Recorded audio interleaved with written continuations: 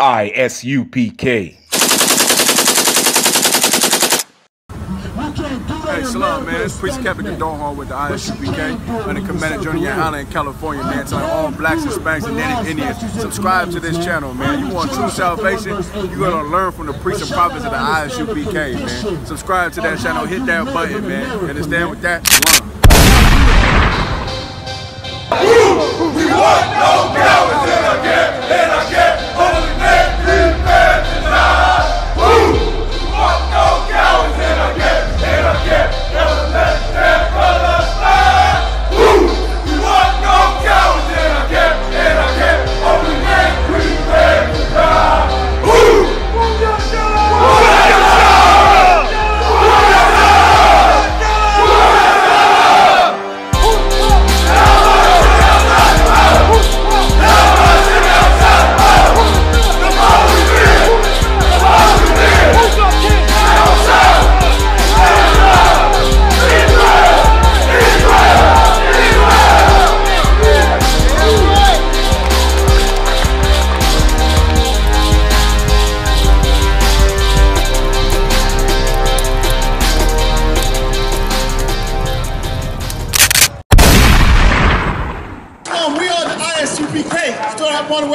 25th Street Hall, New York, under Commander General Yahanna, teaching blacks, Hispanics, and Native American Indians that you are the real Jews. You are the real Jews, and this is why we go through to go through. You know what I'm saying?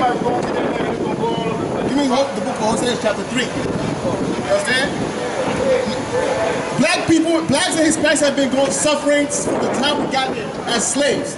You understand? But there's a reason why we're going through what we go through. You understand? If the, the main reason why we go through what we go through is because we are the only people on earth without proper leadership. You understand? We're the only people on earth who have to lead ourselves. Donald Trump came into office. You know what he did? As soon as he got into office, or he went to get into office, the first thing he did was he identified an enemy. That's right. You understand? He quickly identified an enemy that his people would agree with him. That's how he got into office. You understand? But blacks, Hispanics, Native American Indians, not only do we not have leaders, we are also the only people on the earth who think we do not have an enemy. While having a knee on our neck for our whole lives. You understand? Give me Isaiah chapter 3, verse 4. And listen to this good. This is what God has said. Read. The book of Hosea, chapter 3, Verse 4, For the children of Israel shall abide many days. What do you mean to abide? To live. The children of Israel, which is you, blacks, Hispanics, Native American Indians, you are the children of Israel. You will abide or you will live, go ahead, without a king. You will abide many days without a what? A king. Without a king. What does a king do? The same thing Donald Trump does. You understand? Donald Trump finds ways to make America great. You understand? That's why he's that's his job. How do you make black people great? You don't even know how to, we don't even know how to begin. Why? Because we have no king. You understand? Read it again. Hosea chapter 3, verse 4. For the children of Israel shall abide many days without a king. You're going to live. The Lord said you're going to have to go many days. And this is a judgment against us. You understand? This is actually a judgment by the Lord against us saying, because we've been disobedient to him, he's going to have us live, abide, abide many days without a king. Meaning you have no leader.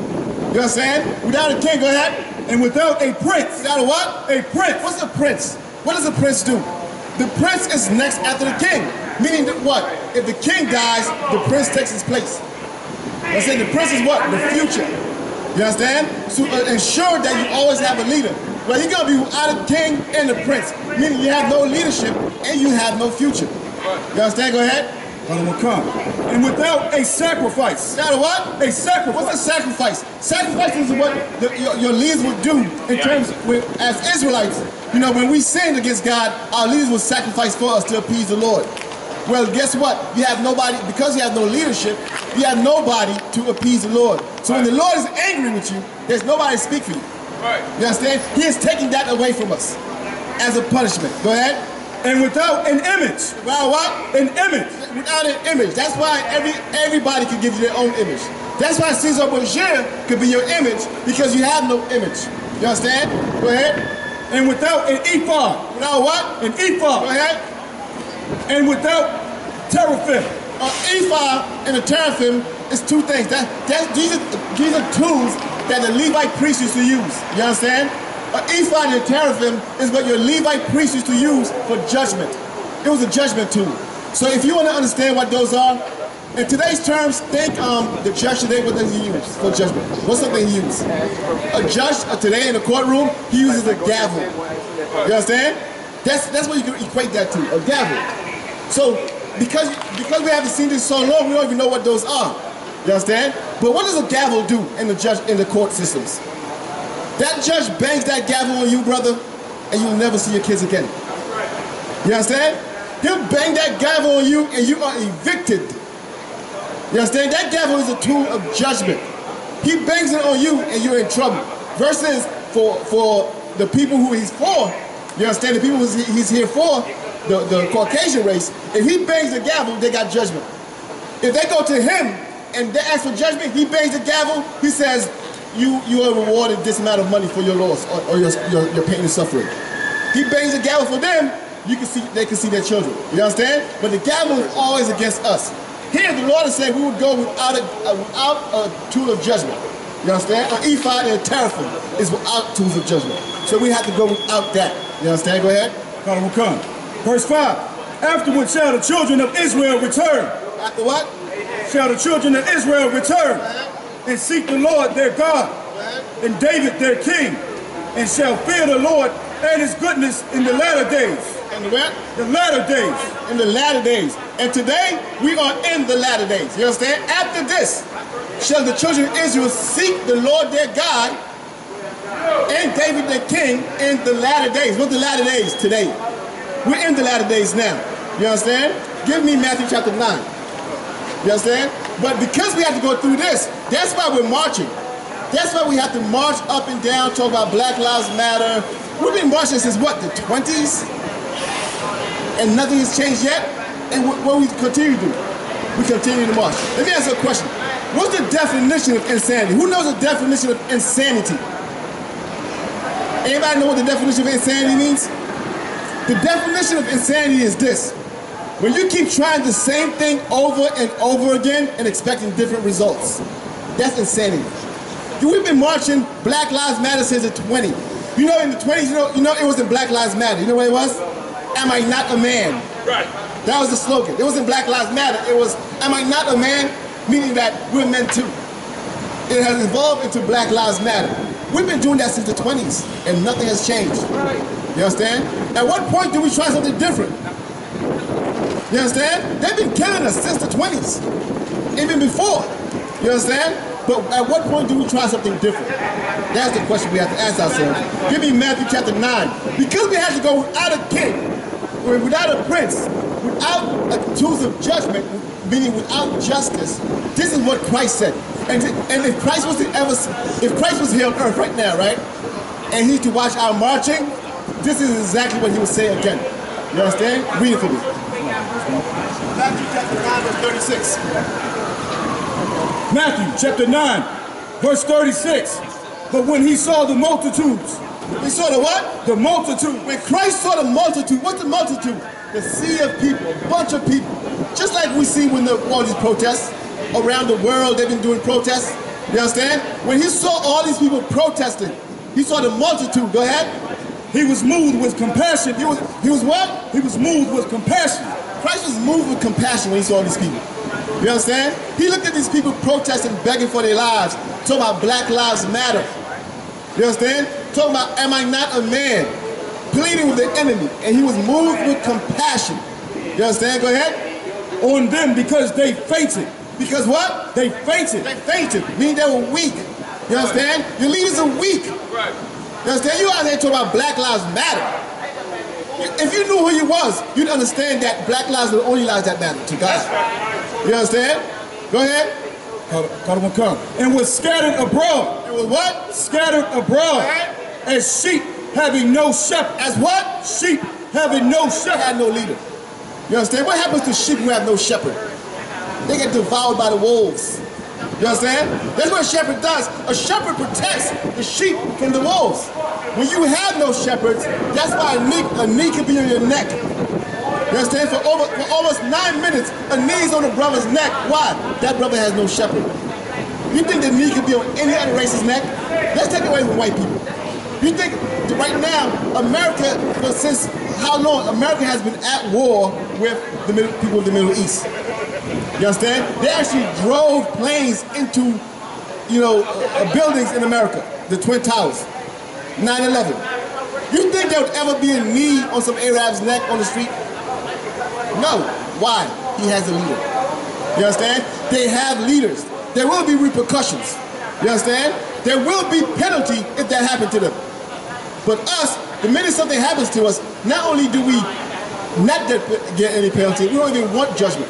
You see, it was in the news recently, it made me sick. It made me sick the other day. It was in the news where that, that Karen, as they call them, that white woman at the Central Park who called the cops on that brother, right, who was bird watching, and she said, Amy Cooper's her name. Amy Cooper. And she said he had a weapon on him. They wanted to charge her. They said that she lied. You understand? They wanted to charge her and say that she called the cops and lied and said he had a weapon on him. You know what he said? I don't want to press no charges. I don't want no trouble. She has suffered enough. Right. That's what she said. He said she has suffered enough, meaning that he doesn't want her to get in trouble. You understand? Meanwhile, the brother, DeSean Jackson, he said the blacks are Jews. Let's see if they say, oh, we don't want no trouble with this. Let's see if the Jew Jewish man says, we don't want no trouble. He said there's Jews, no nobody's harmed, nobody's hurt, we'll just let it go. Nope, they're not gonna accept it. In fact, some Jewish man said, I want to forgive him, but I don't know, I need to hear more. You understand? I need to hear more. Meaning that he values his people enough to want justice. Well, guess what? We need to start valuing our people enough to want justice also. You understand? You understand? We need to start valuing our people enough to want justice also. You understand? That woman who called the cops on that brother, you, do you understand that was an attack on his life? If you call the cops on a black man and say he has a weapon and he's threatening me as a white woman, what do you think the cops are coming to do? You think the cops are coming to understand the situation? Or the cops coming to kill him? They're already fearing for their lives on the way there. You understand? That brother ain't want to jump. That brother said, nah, leave it alone. She suffered enough. But black people, nobody has ever said we're suffering enough. They've always thought that we could suffer a little bit more in here in America. You saying? Read it again. Okay. Matthew chapter 9, verse 36. But when he saw the multitude, when Yahushua saw the multitude of people, when he saw the multitude that's out there, just like today in all these protests, when he saw them, go ahead, he was moved with, com with compassion. He felt sorry for them. Yahushua would feel sorry for the Black Lives Matter movement. He would look at us, uh, I'm walking up and down the street, and he would shake his head. He would be moved with compassion. Why? Read. On them, because they fainted and were scattered abroad as sheep having no shepherd. As sheep having no shepherd. As sheep having no shepherd. Yahushua understood. The man you call Jesus Christ, he understood something. He understood the importance of sheep having a shepherd. You understand? He knows what happens to sheep that do not have shepherds. We just spoke about it. what happens to sheep who do not have a shepherd. They get devoured by wolves. That's right. You understand? They get devoured by wolves. And, America, and, the, and the black and Hispanic people in America have been sheep without a shepherd for a long time. Right. You understand? For too long. You understand? They've been fighting for civil rights for so long, yet they have no they have no shepherd. So let me give you an example. I'm gonna give you an example, right? I'm gonna give you an example. And what, and what the brother is saying is so right. How the black people, how we fight for rights, fight for rights, but other people, other people benefit from fighting rights. Like we fought for rights, and we fought for the civil rights and the right to, and the right for vote and the right for voting. When we originally when we originally fought for civil rights, it was to get equal pay, man. Right. We were getting paid less but we were doing the same work as the white man. So we, all we wanted was equal pay. But then, but then it got hijacked by the white man. He hired Uncle Tom's, and those Uncle Tom's came came and, and, and tried to and, tried to influence us to integrate with our enemy. And, one, and once we integrated our money, well, once, once we integrated, black businesses went away, and black money integrated into white pockets, man. Right. But guess what? The white the white murders did not. They, the whites did not stop murdering the blacks. Right. The whites did not stop hating the black uh, the blacks, even though while even though black money integrated into black into white business. Now now they and, and they're doing it again. We're running around saying Black Lives Matter, Black Lives Matter. You're not even paying no attention. Guess who's just like just like the Chinese and the Arabs own gas stations, they got that from benefiting from the civil rights movement. Right. Guess who was going guess guess who's benefiting from the Black Lives movement? The homosexuals. Look at look at this poster right here on this wall. There, there's a black there's a black fist with a rainbow fence.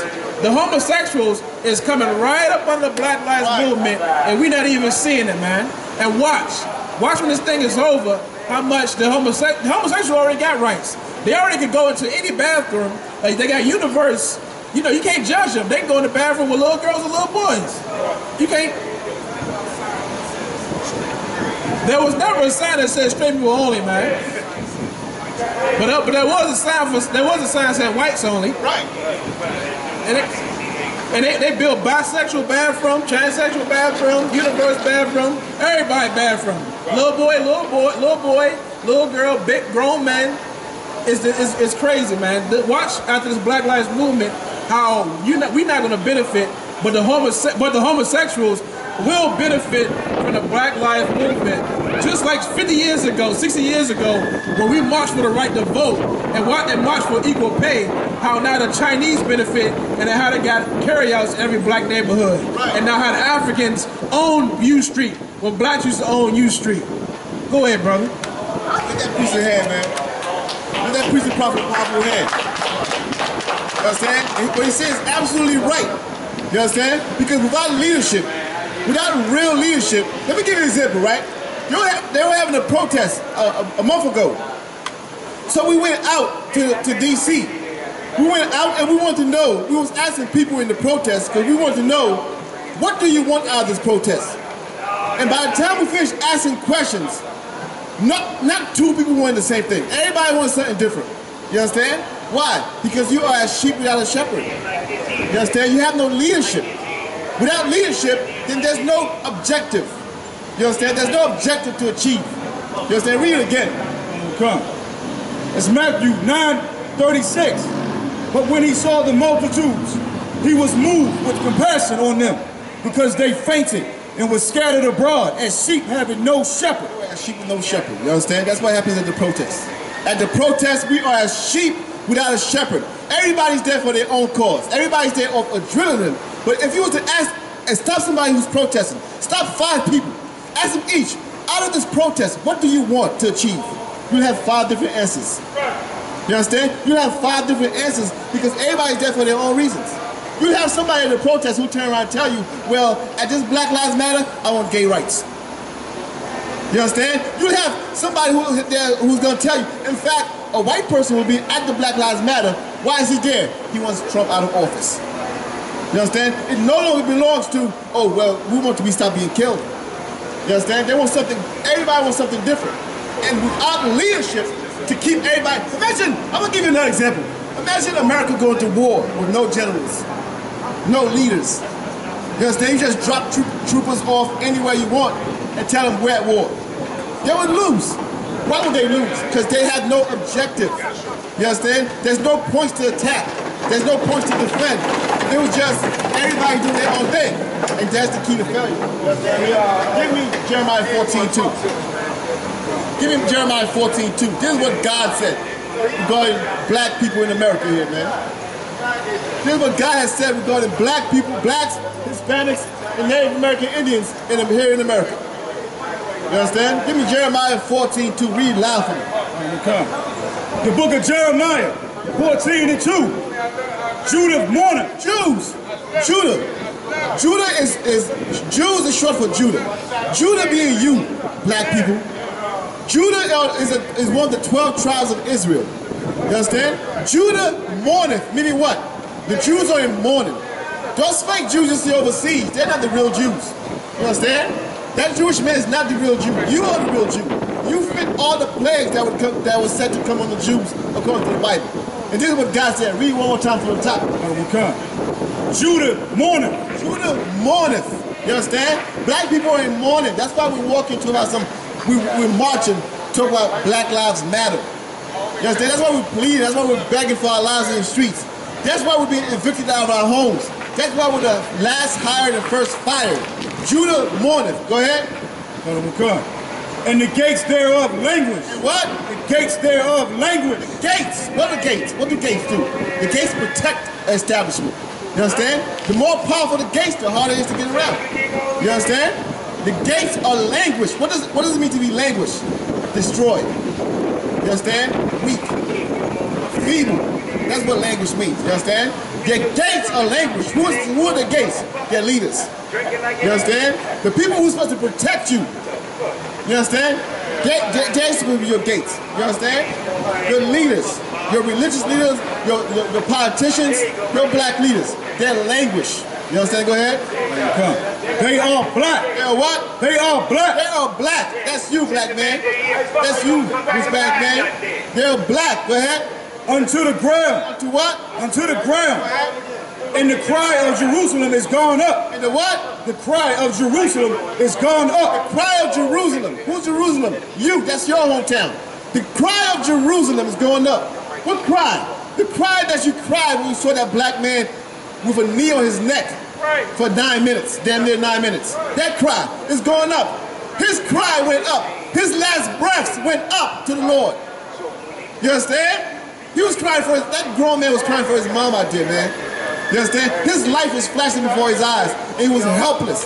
The, the people who stood there and watched were helpless to help that brother. As much as they wanted to help him, they could not. You understand? But their cries went up also. The cries of his wife and his children are going up. Go ahead. They will come.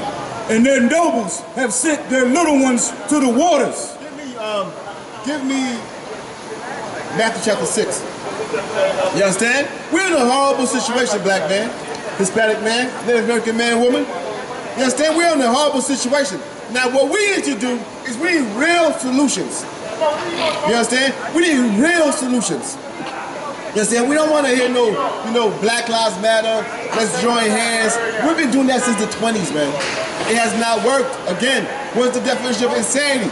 Trying the same thing over and over again and hoping for a different result. We have not seen a different result.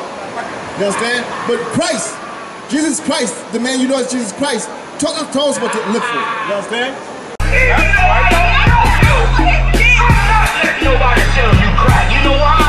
Because I never saw you before. But you a black man like me. And it's worth. My whole life was trying to find something to follow. Had loyalty, every man tried to borrow. Felt pain and a lot of sorrow. Got betrayed, so packed, I didn't even have my heart broke. Living confused, about to lose hope. Cops got me on the side of the road like a sideshow. Need an antidote before I croak. Now I'm setting fire to rhythm man blues, call this guitar smoke.